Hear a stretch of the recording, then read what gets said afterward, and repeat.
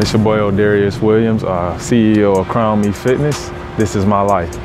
Born in Andalusia, Alabama, grew up in Montgomery, Alabama. Uh, spent majority of my life playing ball, you know, playing football and stuff like that. Um, it was one of those things that allowed me to learn and gain knowledge, create opportunities for me as far as socializing, um, meeting newer people, you know, and just allowing me to develop the character that I got. It was through football that allowed me to really understand how much I love and how much how much um, passion I had for just working out, training. You know, I didn't mind waking up, putting in the grind, going in. You know, uh, just a great thing. You know, through fitness, I'm able to explain my life story. I'm able to inspire others. I'm able to motivate others and show others how to live a healthier lifestyle, a better lifestyle. You know, I'm all for the grind. Um, like with Crown Me, it's something that I came up on my own. You know, I was sitting in, like I said, with me I'm the type of person, you know, I'm a man of character, so crown me was something that I put together because I view a crown as someone,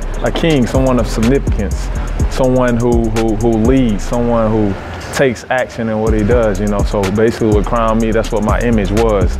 You know, I'm a young king on a mission, you know, I'm on a grind to, you know, be successful, whatever it is in your life that you want to accomplish, you know, uh, you can do it, you know, but just continue to strive and, and, push yourself. And through it all, you know, I like to, you know, give God thanks for everything. You know, I allow him to be the head of my life.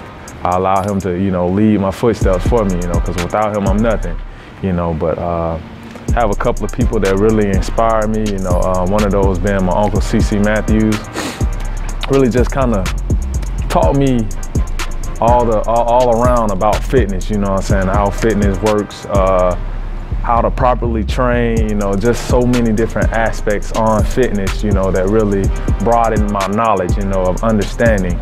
So my ultimate goal is to have my own gym, you know, not just my own gym. I'm gonna dream big, you know what I'm saying? I'm gonna shoot high, you know, so I ain't just gonna limit myself to that. I wanna be able to have a franchise, man. I wanna be able to have multiple gyms, you know, throughout the world, you know. Um, course, I got to start on something small, you know, and I'm to work my way up. I'm to get it. With God behind me, man, I'm capable of doing anything, man.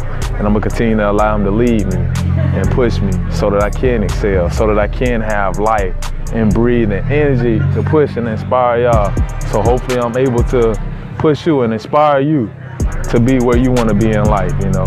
It's not an easy road. It's not. It'll never be easy. But you can do it gotta believe. Until then, it's just a continuous grind.